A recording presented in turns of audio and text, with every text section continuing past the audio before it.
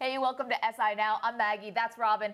That is Hall of Fame running back and Super Bowl MVP, three time Super Bowl champion. Emmitt Smith is here on behalf of Michelin, and we are going to get to that good work Yes. in just a moment. But first, just thoughts on last night's game, okay? The Patriots escape with a win against Tampa Bay. Be honest with us, Emmitt. If you had a kicker miss three field goals in a game that tight, and it seems like that important, how would guys be treating that kicker first- this week? Well, the guys probably would, would not be saying a whole lot publicly outside of supporting the kicker. Uh, but internally, uh, in, in my personal view, it'd be like, all we want you to do is kick the ball through the uprights. We're not asking you to make no tackles. We're not asking you to run pass routes. We want you to just put the ball through the uprights. You got one job. You have one job and one job only. Please get it done. And they could have used every one of the field goals that was missed last night. Meanwhile, Brady ties Manning and Favre most wins of all time. The Patriots, they've obviously done some winning. Five Super Bowls in 17 years, been there seven times. Your Cowboys won three out of 4 Both dynasties. How would you compare the Patriots dynasty to your Cowboys team? You can't compare the two because Belichick has been there for the whole entire time.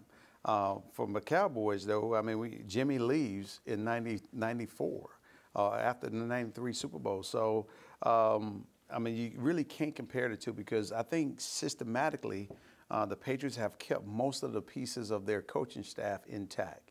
And they have evolved everything else around Tom Brady. And so they've, they've done a very, very good job of bringing in the right talent, uh, solidifying the offensive line to keep their quarterback upright, giving them some guys that he can throw the ball to, a variety of guys that are making plays. They have a system that is pretty strong. You ever play the what if game if Jimmy had stayed the core of Dallas together? Not saying that Barry Switzer was not a good coach, Right. but do you ever play the what if that you guys could have had five or more? No, no, I don't. But when, when, when people ask the question, I have a chance to sit back and reflect over it. I, I look at uh, um, what was transpiring around that time frame. Uh, obviously, Jimmy did leave, but free agency was starting to take apart our team.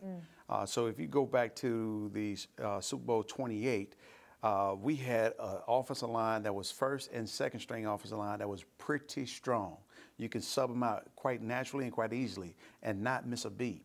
Uh, but once free, free agency started coming around, we started losing some of these quality players and these quality backup, uh, which changed the whole dynamic of our team. Wonder if you're worried about that now with this incarnation of the Dallas Cowboys, considering how great that offensive line is. You know what? Settle a debate for us because Robin and I, we keep arguing about this, and it's going back to last year. I cannot believe that Zeke Elliott did not win Rookie of the Year. I Team feel like that was a robbery that is of, of the highest proportion. Robin is on, well, you can say for yourself. Dak you, Prescott. Now, I think he's more important to the Cowboys' success both now and going forward. Well, um, see, I, I think we do. We spend too much time trying to pick apart who's the best. We have two. We had two of the best players on the same team. They could have shared the Rookie of the Year award because they both had had dynamic years and they both needed each other. Uh, and at the end of the day, uh, we do have two of the best dynamic players going forward. And you need both of them. You got to have a solid running game in order to open up the passing game. You got to have a solid passing game to have the defense respect that you can throw the ball down the field as well. So, which creates room and opportunities for everybody offensively. And that's the beautiful thing about our Dallas Cowboys offense is that balance. I mean, it's not like Brady has to drop back and throw the ball 45 times or 50 times a game, or Manning had to do the same thing. Um, uh, and Drew Brees has to do the same thing. So with us, it's not quite that way. We have the, the flexibility of having a home run hitter like Ezekiel Elliott. We also have an efficient quarterback in Dak Prescott. We have the balance of a tight end with Jason Witten and also Terrence Williams uh, along with Dez Bryant outside. So that balance gives us a chance to be control the clock, uh, give our defense a chance to rest, which our defense need to improve. And so it's that part that I look at the overall game, and I look at these two players and say these are marquee players for a long time. Now, the Cowboys haven't been as dominant to start this year. Mm-hmm. Ezekiel Elliott's numbers overall look fine, but his yards per attempt are way down from a year ago. Mm-hmm. Any concern there? No, no concern because uh, when you uh, thrust on the scene the way he did last year and rush for that many yards uh, throughout the course of a season of, uh, of his rookie year, teams have the whole offseason to prepare for you. They have a chance to look at a lot of tape. And the number one thing that I know every defensive coordinator comes into every football game every week with, we must stop the run. We must stop the run. That was Maggie's argument for We Zeke. must stop the run. Making it for me. And so, uh, which says, Dak Prescott, you have to beat us. You have to make the long throws to Dez Bryant and make that connection. If you don't, then we're going to slow you down. We're going to get more uh, three and outs, and we're going to have more opportunities to, to put more points up. You know, Derek Wolfe said after they played the Broncos and lost, he said, We tried, we dared Dak to beat us, and he couldn't. And I Right. wonder how Dak would internalize something Well, like that. uh, he will be prepared next time. Yeah. And uh, if we meet the Broncos again, it will be in the Super Bowl. And so uh, I think uh, what he went through and what our Cowboys went through uh, was was was a wake up call. Uh, it was something that, that says this is what the formula looks like right now. Until you prove to the rest of the league that you can beat this formula, we're going to continue to do this to you week in and week out. And meanwhile, they rebounded, and now a big game against the Packers this weekend, which we're all looking forward to. Uh, switching gears a little bit, I'm sure you saw this story Cam Newton having to apologize after he called a female reporter's uh, question about route patterns. He said it was funny. Not shocking, Cam received a lot of backlash Right. for this. One of his sponsors, Dannon Yogurt, said they're not going to feature him in any of his ad campaigns. Actually, let's take a look quickly at Cam's apology from yesterday. After careful thought, I understand that my word choice was extremely degrading and disrespectful uh, to women. And to be honest, that was not my intentions. And if you are a person who took offense to what I said, I sincerely apologize to you. Also mentioned his two daughters in that apology. What'd you make of it? I thought it was a great apology. I thought it was it may have come a little late, but nonetheless, he apologized in the most um, professional way possible, and it seems to be very contrite. But the apology was the first start. The next is how did he how does he carry himself from this point forth? Uh, I think this was a very upfront, personal learning lesson, and and it's a training film for a lot of people in their apologies. And so I appreciate what he did. I, I take him for his word. Now it's about putting the words into actions. he's been in front of the media for most of his professional life, and mm-hmm. even before that, winning the national championship, number one overall pick in the draft, Super Bowl mm-hmm. appearance, everything.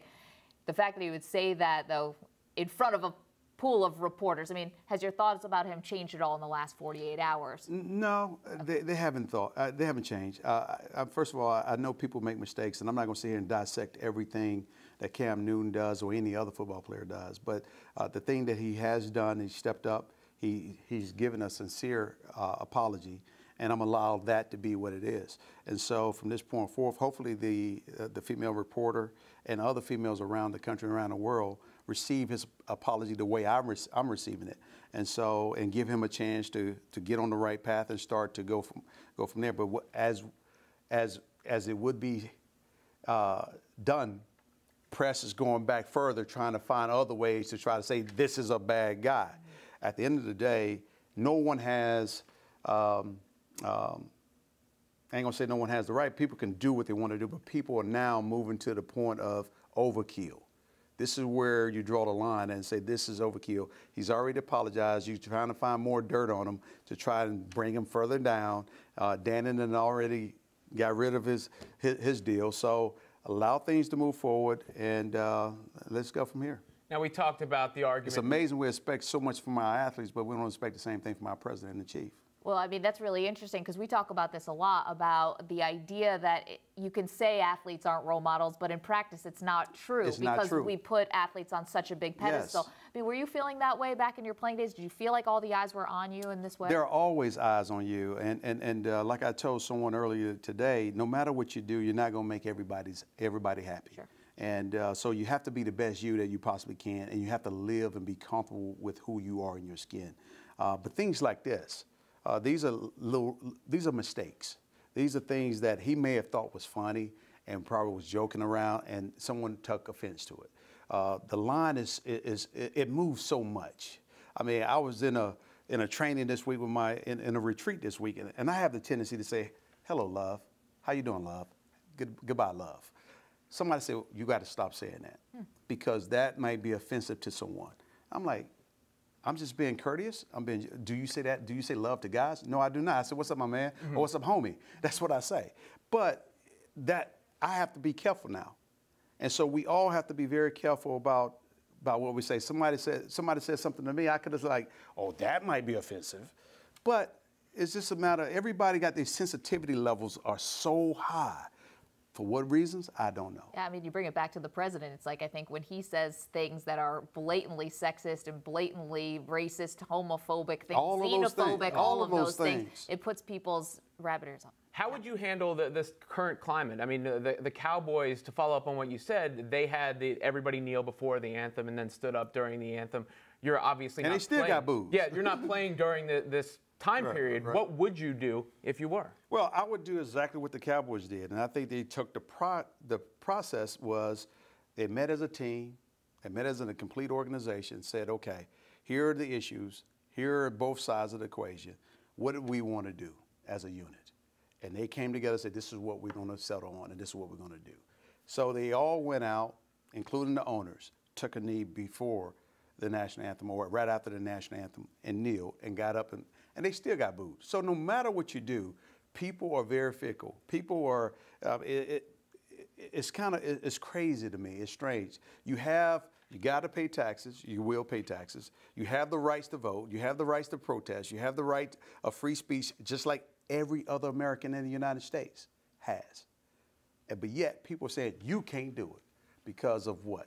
Either because you make too much money, or because you're an athlete, or because you're not even a politician, so you have no reason to comment on this, et cetera, et cetera. Which is, in, in my, in my sense, I, I, can't, I, I think is absolutely ludicrous.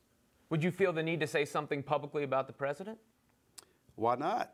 I mean, he has the right to say something public about everything that he wants to talk about. And so it, it's somewhat reciprocal. Uh, you vote, and you vote for the people that you choose to vote for. Right now, our president is President Donald, Donald Trump. That's our president. That's my president as well. I may not agree with everything that he says, everything that he does, but that's our president. Interesting. And of course, you have kids, so I'm curious. You probably have these kind of conversations with them, right? Well, without a doubt, my kids are my kids were very scared. Really? They were they, my my daughter was was like, I'm not sure if I want to go to school now. We may have to move to Canada. Hmm. I mean, she felt like that, but I had to explain to her. I said, baby, don't don't get caught up in all of this, uh, all of the hype around things, all of the negativity around everything. Um, he is our president. Let's just pray that things work out for the better. is that a tough conversation to have? Because athletes a lot of times are asked to be role models, and that's a controversial topic in and of itself. Is it difficult to explain to your daughter, you know, that maybe you can't hold the, the president as a role model? Well, I never told her that the president was her role model. Uh, at the end of the day, I look to my kids and they look to me, and I hope I am their role model. I'm not pointing to anyone outside of my house because everyone outside of my house, uh, we don't have access to their, their lives 24 7. Yeah. In this household, they have access to my life and, and my wife's life every day.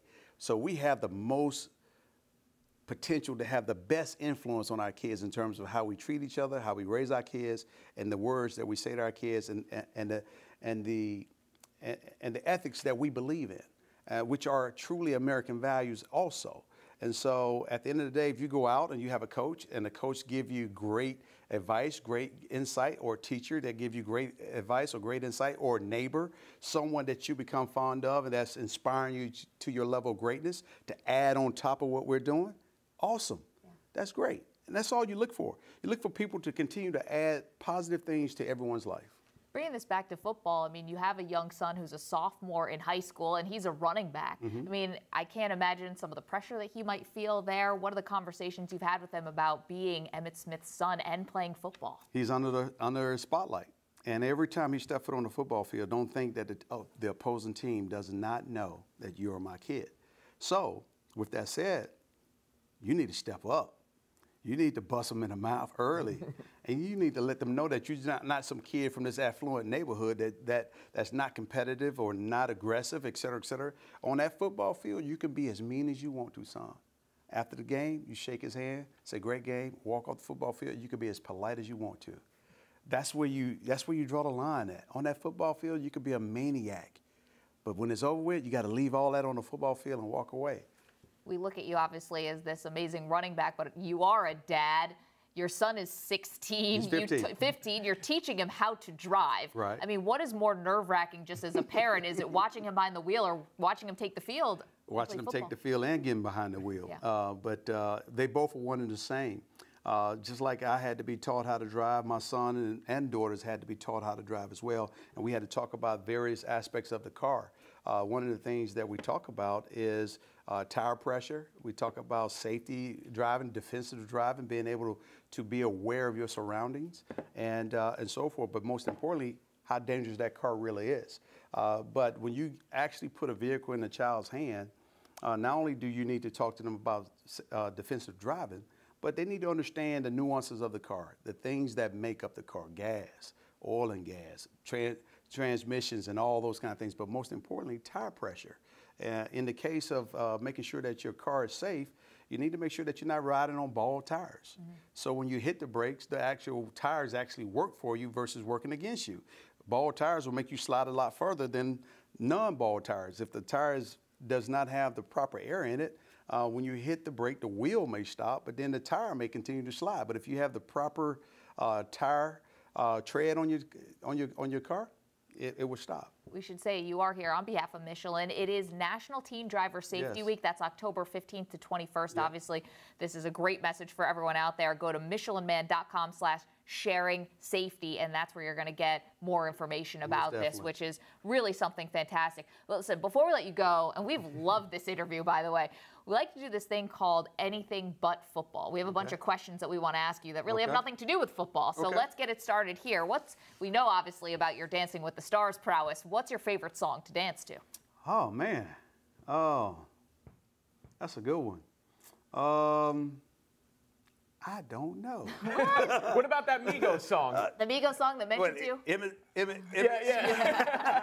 Um, I love Amigos. I love Migos. I mean, they, they, they're good. Uh, but um, Bad and Boujee. Yeah. there we go. hey, that's Robin and I's favorite too. We were singing common. Favorite animal? Favorite animal? Wow, tiger. Me too. Favorite superhero? Superhero. Favorite superhero? Superman. Mine is what's a TV show you're embarrassed to admit that you watch?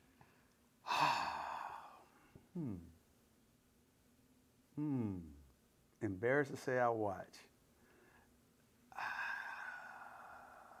Would it be like American Idol?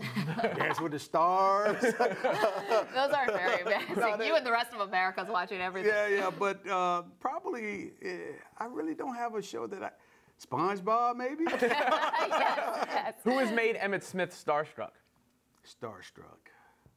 You know, after meeting Jordan and meeting so many great athletes and presidents like Clinton, Obama, and George Bush, uh, uh, yeah, I even met Donald Trump himself. So, I mean, it's kind of hard to say. It's kind of hard to say. I even met Nelson Mandela. So it's kind of hard to say. It really is. Uh, Oprah Winfrey, I mean, Tiger Woo. I mean, like, Give us a story about one of those people you just mentioned, something that you just will never ever forget. Uh, Donald Trump talks uncertainties. Emmitt, you're going to do this, and you're going. We're going to send this to you. You're going to pick up the plane. You're going to get on a flight. You're going to come out here. You're going to judge this Universe for me, and we're going to have a great time. So go ahead and just say yes right now, regardless of what your schedule says. You can move all that. That's When, the way he when was that?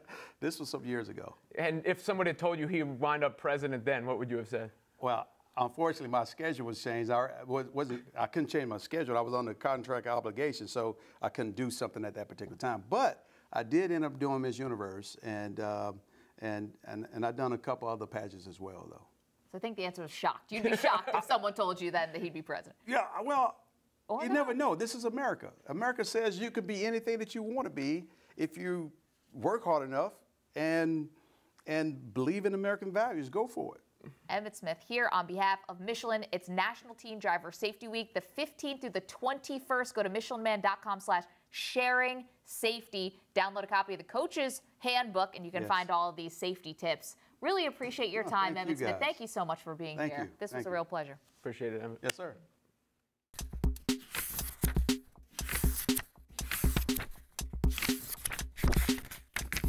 Let's talk college football with our own Pete Mundo. He is busy in the newsroom, so let's head there courtesy of Toyota. Let's go places, Pete. More trouble for Louisville this time for the football team, though. They lose to NC State on the road, and despite Lamar Jackson's three touchdowns, the Cardinals now have two losses on the season. Of course, the first was to Clemson. Is there still a path for Lamar Jackson to win the Heisman, or are his chances now completely over? Maggie, at this point, there is no path for Lamar Jackson. Not that his stats haven't still been really good, but you look at it, I went back 30 years, and there are just two players in the past 30 years to win a Heisman Trophy with three conference losses. Robert Griffin III in 2011 for Baylor, and then you go back to 2007 with Tim Tebow at Florida. It's just not likely to happen. Louisville already has two conference losses, and now they still got to go on the road to Florida State, a couple of other tricky games as well. So I don't see how it's likely, especially since Archie Griffin's the only guy to ever win back to back Heisman trophies. You've got to have an outstanding season, and also you've got to have a really great team season, and Louisville does not look like it's going to have it. Let's stick with NC State for a moment. They made a statement. Now they've beaten two top ACC teams at home. They still have Clemson, which is also at home on November 4th. They're 3 0 in the ACC. Do they have the pieces to upset Clemson?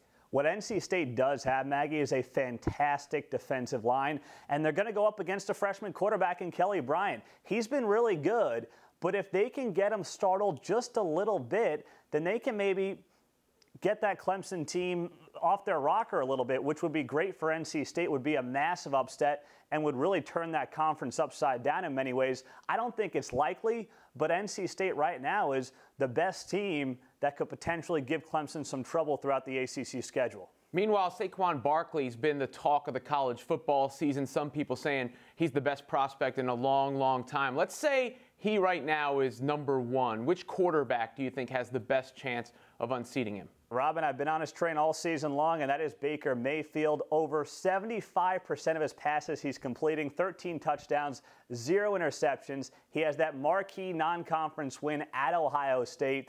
And you look at the rest of the Oklahoma schedule, and they are going to play Texas, they have to play Oklahoma State, and they have to play TCU. Those are three very high profile games. If he continues this kind of season, there's no doubt to be Baker Mayfield is going to be right up there with Saquon Barkley at the end when we get close to this Heisman Trophy ceremony.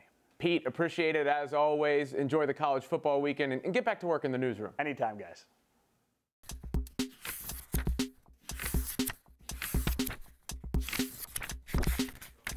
Fallout from the latest NCAA scandal continues as reports say Rick Pitino received 98% of the money Louisville got from Adidas as part of the school's deal with the shoe company. Does any of this still surprise you, Maggie? No, of course not. But I would say this I think that because college basketball coaches, I think more than any coach in any sport, are the face of the program. Probably used to be college football, but nowadays those jobs are a little bit more, they, they turn over a little faster. College basketball, I think that Rick Pitino could probably, in his own mind, make a case that he is worth 98% and that he should get 98% because can we name five the starting five for Louisville right now? Probably not, but you know that Rick Pitino's the coach there. You know he won a national championship there. So I could see how he would be feel like he is probably worth it. Unfortunately, it completely rips off the kids, which is what this entire scandal is about to begin with. Yeah, I don't disagree with what you said, and Rick Pitino obviously has had tons of success, but when people look back on this scandal, we know how big the egos a lot of these guys are. Rick Pitino is going to be the face of it.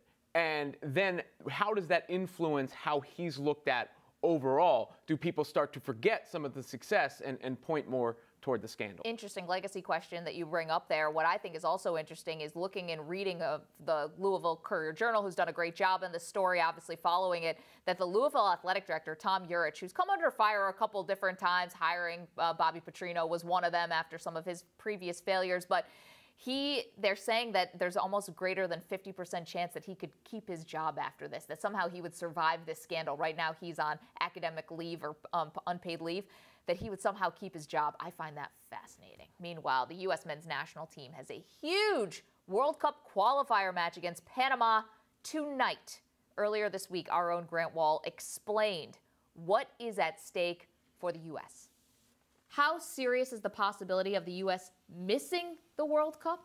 This is a legitimate possibility, guys, and the U.S. has qualified for every men's World Cup going back to 1990. It's got a great streak going, but they really had a tough time in World Cup qualifying, lost their first two games of the final round, lost at home here in New York to Costa Rica last month. And there's a lot of margin for error in this CONCACAF Regional World Cup qualifying. But the U.S. has almost exhausted that margin for error to the point where they need to win this Friday night at home against Panama and Orlando. And if not, that really makes it possible that the U.S. could miss World Cup 2018. Crazy. That game tonight in Orlando, and while we wait and see the fate of the U.S. men's team, arguably the biggest soccer star on the planet, Lionel Messi, may not be playing in the World Cup. Argentina had a 0 0 draw against Peru which means they have zero margin for error moving forward. Robin Wood, Messi missing the World Cup. Remove him from the best ever debate, which he's in with Cristiano Ronaldo. Remove seems strong. But it does hurt because when you're talking about the best ever, not one of the best ever, people start to really nitpick. I mean, is it fair to blame one individual for a, a sport where 11 guys are on the, the field at the, the same time? That is, is tough to do. I happen to lean Ronaldo in that argument because of the size. Maybe it's a bit of a, a, Durant or Curry, who would you rather have sort of conversation. But it definitely hurts his chances because if someone's making the case for Messi, the easy comeback is if he was so good, why didn't they make the World Cup? Well, let's be honest. Ronaldo is also in danger of missing the World Cup. Portugal is against the ropes also. This will be a terrible been... World Cup. No United States, no Messi, no Ronaldo. Yeah, I don't know how much Fox is going to like that as a broadcast rights, but I think that this would absolutely do nothing to Messi's legacy. I think that you can understand, you can point to all of these different reasons why Argentina is struggling, and I would not point to Messi as any one of them. He is actually playing fantastic. He is setting up his teammates. They are not finishing. I mean, how much more can he do? It reminds me of after the Super Bowl, we saw Gisele running after Tom Brady after they lost to the Giants the second time. And someone said, Hey, Gisele, what did you think of the game? And she said, He can't throw the ball and catch the ball. You know, it was yeah. like this famous quote about Brady it's kind of the same thing. Like, what do you can, can he single handedly win a game? No, it's impossible. It's too much to expect, even from someone who's considered the best ever. I'd also point to the fact that Argentina has gone through three different managers of their national team since they lost to Germany in the last men's World Cup. And think about it. We talked a lot about how the Atlanta Falcons, you know, how could they come back from blowing that big Super Bowl lead that they had and how would it damage the team? I mean, think about what happened to Argentina. They lose that match against Germany and now they have four years to think about it and they keep changing managers. I feel like there's no cohesion here. And I feel like this team, I mean, I am shocked that they would be missing, that they could miss the World Cup, but let's look a little bit inside what's happening. Maybe it isn't that shocking. We can settle the Messi versus Ronaldo debate in a game of FIFA, perhaps yes. a, a, little bit later on. But a video game that's a little bit older is Tecmo Bowl. And I had a chance to play Kyle Brandt of Good Morning Football on the NFL Network in the old classic.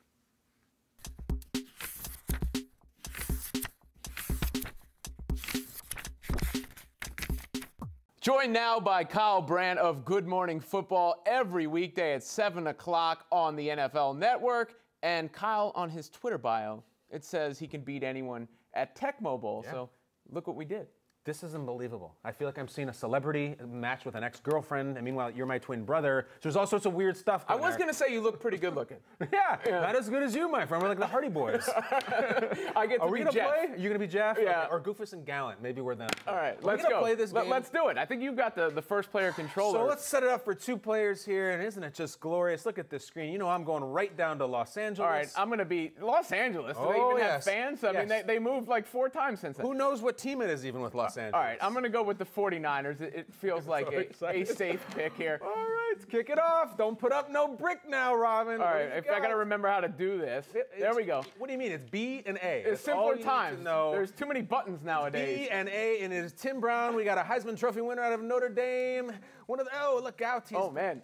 Okay. There we go. I got you down. By the way, decent special teams there. Decent yeah, special teams. not bad. What I mean, I didn't give do? up the big play. Uh, right, I, I feel see. like you're going to look for a big pass early. I'm going to try and pick your play. Let's you're see what happens my here. play. Let's yeah. find out. Jay Schroeder, you can pick your play all you want. Let's see what he does. Oh boy, they're pass oh, rush! See? Unbelievable! Look at that. You're going to be sick of me by the time. And the game already froze. You froze the game. I froze the. It's because I hit the table. Hit the table. They told us not to hit the one table. One thing they told us not to do, and it took exactly one play, and I hit the table. You sacked me for a loss. So what do we do? We just go right back to the drawing board, and I'm going to go to Marcus Allen, who's out on the open field out of the University of Southern California. And there he goes.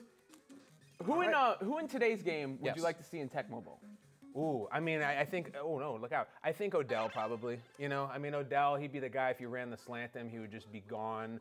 But I also think, plus, I, this Tecmo Bowl doesn't have. A, oh boy, look out, Bo. Isn't it odd about this game that the safeties can catch up to anyone? Oh, that was a nasty move, Bo! um, I hit the table again. You did hit the table Okay, again. I'd like to see Odell, um, and then you know, I always try to support this guy. I'd like to see Kirk Cousins. You like that? You like that? I don't know why Kirk Cousins amuses me. He always seems like he's like 26 going on 52. And since Kirk I am Cousins myself, is the yes, one guy Kirk Cousins. That's right, Jail. That's a touchdown. Kirk Cousins. Kirk Cousins is my guy. He listens to Creed. He just uh. had his first son. Uh, he's a chucker. You admit unafraid. publicly you listen to Creed. I give you props for that. I said he listens to Oh. Creed. There was a time. Do you tell me you never listened to Creed, Robin? My own prison, arms wide open, human clay. The ref Scott just said arms wide it. open with the, with the field goal right you know who was wide open? Todd Christensen on that touchdown. Oh, he was like the Scott Stapp of this game. I should have um, made Can a stipulation where Yes. you couldn't have picked uh, Bo Jackson. oh, that was the worst kickoff I've ever seen. Bo Jackson is the most dominant video game athlete of all time. I would say second is probably Michael Vick from 2004. Uh oh. I think you're going to house this kick. I don't know how to switch players. There we go. Oh, I can run some clock while I'm doing it. You just had a kick return for a touchdown. How do I switch guys? Do I press, Um, what is it? Select I think it's B. B? All right. Yeah. I, I tried B. See, you I'm, distract me with your conversation. I'm used to Ninja Gaiden or whatever it was called. Can we play that next? What about which player Yes. from the Tecmo era would you want to see now? Would I? Ooh, um, I'm gonna line up right now with Mr. Howie Long. Oh wait, what is this? Wow, am I using that a ringer? Is this Billy Hoyle playing with Sidney Dean? White man can't jump. You're up seven nothing. What is? I know, but you're going right down the field. What player from the Tecmo era? Um, Cap Boso. It was a uh, tight end for the Bears. Cap. His name was Cap Boso. Uh-huh. Is And that uh, just a fans would know. name-based thing? Yeah, 100% name Yeah. based thing. No, of course. If your name's Cap, I want you in the league. And um, let's see if Howie Long can come up with something special. That's an interception in the end zone. Oh, Mike Haynes, like they won't let me run it out. Critical red zone interception. Yeah, that was... a little bit like Jameis Winston, you know, a little loose, fast and loose. But you, I'm going to make you pay for it now. Let's see if we can just put another seven on the board, and I will not bang the table. Who's the best defense in the NFL right now? Best defense in the NFL right now. Well, I thought it was going to be the Giants here in New York. I- You know what, Robin? I They're not the- good. No, I thought the Giants were going to the Super Bowl, and I'm not afraid to say that. I know everyone's supposed to like bury their their cold takes, but I thought it was going to be Tom Brady versus Eli Manning three, and I wanted it. I wanted that uh, rubber match. It's not even a rubber match. Eli won two of them. I thought the Giants defense was going to be the best in the league. They're terrible. You cannot get me out. Oh, Bo Jackson's just going to walk this one. Yeah. I'm going to run it up like I'm DeSean Jackson. Oh, got me at the one yard line. Don't like get that guy in the. Bears. Yeah. Can I do a quarterback draw with Jay Schroeder, or maybe I'll just let let's see here. Um, I'm I th- impressed staying on your the knowledge Patriots of the. Raiders roster circa this era. Well, I mean, this is. Oh no, that's going to be a big loss. Oh, Marcus Allen. Marcus Allen. Nice job not hitting the table. operator. I almost did it. Yeah. I, I'm, a, I'm a table hitter guy. You know, on our show, I always hit the table. I'm always uh, making messes, everything like that. But we're, you know what I'm making a mess of right now? I, I'm sorry, Robin, but there's a goose egg on your score column. Right Yeah, I'm here. gonna have to. I'm gonna have to get in the game here. Look at Marcus Allen just doing bad things. Get off of him. He's going to score. Oh, you got him at the one. His fantasy owners were furious about that down at the one yard line. Speaking of fantasy, uh, Nate Burleson's on your show. Did he ever cost you a fantasy season? You know what's so funny? I'm glad you brought that up because Nate Burleson had a massive season in Minnesota. All right, he had a season where he um, Jay Schroeder touchdown. He had a thousand yard season as Randy Moss's number two. And I remember I'm, I was talking about that. He's like, "Oh, did you get me in fantasy that year?" I'm like, "No, no, Nate. I got you the next year when Randy left, and you were supposed to be number two one." zeros? Uh, I don't know, just double zero, like Jim Otto. Maybe that's the reference. But um, yes, I had Nate in fantasy, and it was not a productive time. Not not in that season. He's always been. That. He was that like at the end. He was like that proverbial like wide receiver three when he was with Yeah. Detroit. He's like, oh, Nate Burleson got me a touchdown or got me 72 yards. But um, he is in my fantasy. I'm the worst kicker in this game. I haven't kicked in a while. That's He a was- humble brag, being that it's 21 nothing. you know what, Robin? I have to tell you, I do think you gave me a faulty button on one of these. I think you ever remember you used to play Mortal Kombat in the arcade and like someone would have spilled a root beer on the buttons and There's a glitch or something like that? Yeah, like they're sticky. I think someone spilled root beer on my controller because I should be winning much more than 21 to nothing. Much more. You know you can switch receivers, right, in this game? I, I don't. I, I mean, I was. I guess it's B. You're staring down the same guy, Yeah. and Howie Long is going to break the record for interceptions in a game in this. Yeah, somebody's criticized me up in the booth for, for not Yeah. going through my progressions. You're not going to be the Gruden's grinder in this game at all because you have to look off your receiver. You know, I'm just throwing it to make you look good, right? Don't do I that mean- anymore. I look great right now. you, know, you need to look better. Don't worry about me. Well, I mean, we, you know, you said we look alike, and you know, so maybe the, We do look alike. We definitely aesthetically we both pomade, might right? look okay, but uh, as far as the, Oh, the way this game is playing out, not so much. All right, so I only got seven seconds left. All right. This isn't where clock management comes in, but I also am having so many kicking problems. You're gonna win at halftime. I think I, I'll I'll do the uh, I quit at halftime and reset the game. All right. Well, why don't we go out? Right, I love that. So Yeah. it doesn't go on your uh, season record. Why don't we go out with some pride here, Robin? If this is the last play of the half, show me a little something. Show me a positive. Oh no! Look at what Vincent Bo Jackson is doing. This guy's never going to catch him, even in this game where you catch everybody. Six. Bo knows Tecmo Bowl, that's for sure. Bo knows Tecmo Bowl. Kyle Brandt knows football. Good morning Sort football. Every weekday, Good morning, seven football. o'clock. Yes. Good night, Robin. NFL Network. Goodbye, Robin. I've been vanquished. Is there a game we could play? Is it is it RC Pro Am or Rygar? What would be your game where you can beat me really badly? Well, I you don't play each other in Mike Tyson's Punch Out. That was probably my favorite Nintendo game. Yes. Um, Soda Popinski. yeah. Don flamenco. Uh, let's go to like Pop-A-Shot or something at the arcade. The, the actual basketball shots. I, I'm in anytime. Robin. yeah. n- next time I'll, I'll get you. It'll This be the best interview I've ever done. All right. By far. good night, Robin. Good morning, football. Bye bye.